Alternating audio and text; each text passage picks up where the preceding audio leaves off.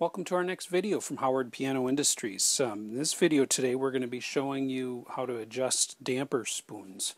Um, as, as you can see in the video here we've got a real close-up look at uh, uh, the face of a hammer and a damper and we're going to show you how um, how the uh, damper spoons should be adjusted. Uh, we have to be able to see that from how the action works uh, as, as um, from the view of looking at the hammer and the damper together. Now, uh, the damper spoon is a piece uh, which we'll show you a little bit later here in a second in the video. That's um, that's something at the back of the whippen, which is uh, underneath uh, the bottom part of the action. Um, but just to show you how the um, damper spoon should be adjusted, and the way you can tell is to watch how close the hammer comes to the string before the damper starts to move.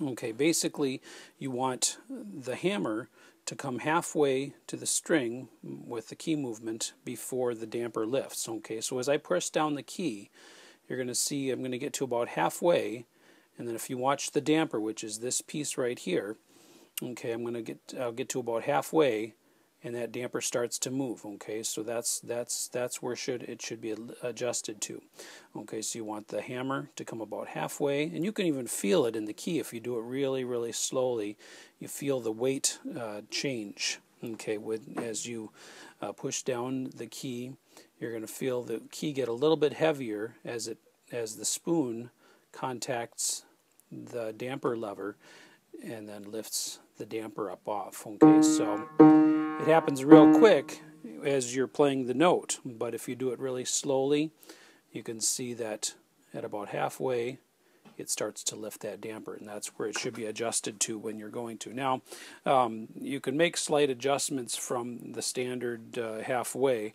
Um, you know, if you if you make it if you make the damper lift a little bit earlier, it's going to make the key feel like it's or the play the action feel it's like it's got a little bit heavier of a touch. If you make the damper um, lift a little bit later, then that's going to um, give the feeling of a lighter touch to the action. So you know, again, you can make uh, slight adjustments. You can make it uh, uh, lift a little bit later or sooner, depending on if you want to make the action feel heavier or lighter.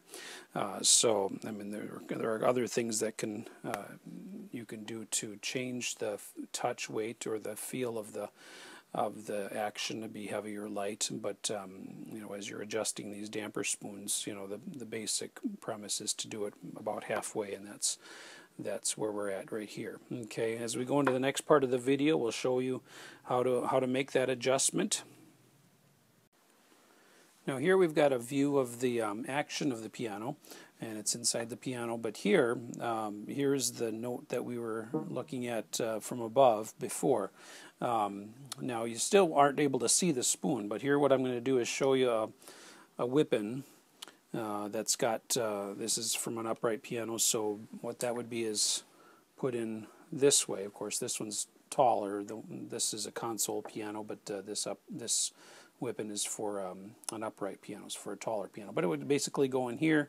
So this piece back here, this uh, thing right here, looks kind of like a spoon.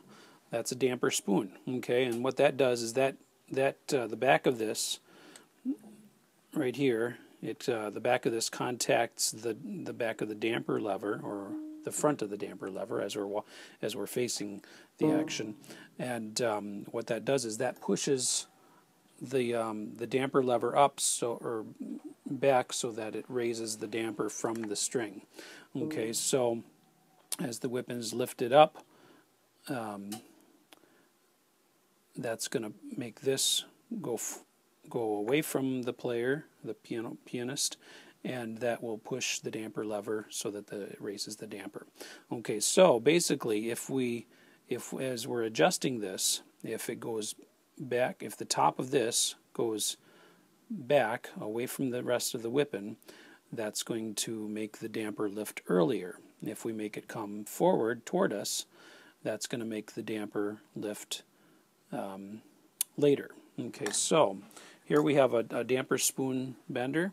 Okay, they've got we've got a couple different styles. We've got this one; it's a little bit shorter. Uh, you know, for for most uprights, uh, it works for console pianos. Uh, what I've had to do sometimes is is bend it a little bit because if it's um, you know if you've got short if you've got a if you've got a short action like we've got in most console pianos if you put it back here and you want to make the the damper spoon bend toward you there's not a lot of room for the handle to go down so now this is these are both this is designed to go with um, the combination tool handle which we've got one here uh, so we'll put that in there uh, we've got a number of different combination tool handles. The other type of uh, damper spoon bender is this one here. This is the Spinet damper spoon bender. It's longer because when you're working with a spinet action, you've got to go underneath the key bed um, uh, because the whole action is dropped down below the level of the keys. It's a little bit, it's quite a bit more difficult to, to adjust spoons in a Spinet piano, but uh, that's how it is with most things in a Spinet piano. So, um, so that one's longer, and this one does also work for the the upright and the console pianos. In fact, I think I feel like it works very well with the console actions as well because you've got a little bit longer length. Um, and again, you might have to uh, bend it a little bit. Sometimes I'll bend this so it comes forward so that my handle is up a little bit higher when I go to hook onto my damper spoon.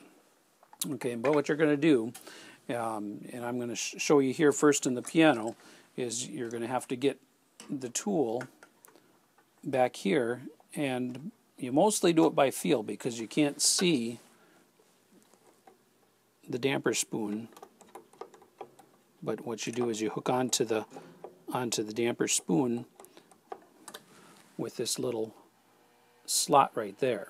Okay, and once you do that, if you again if you want to push the um, damper spoon away from you to make the damper lift earlier, you're going to lift lift on the handle. Okay, and if you want it to, uh, if you want the dampers to lift later, then you're going to push down on the handle, which is going to make this damper spoon bend towards you. Okay, and I'll show you here um, on the whippen so you can actually see. So what you're going to do is you're going to come in here and you're going to hook You'll actually usually come in from below it and then hook onto the, the damper spoon like so.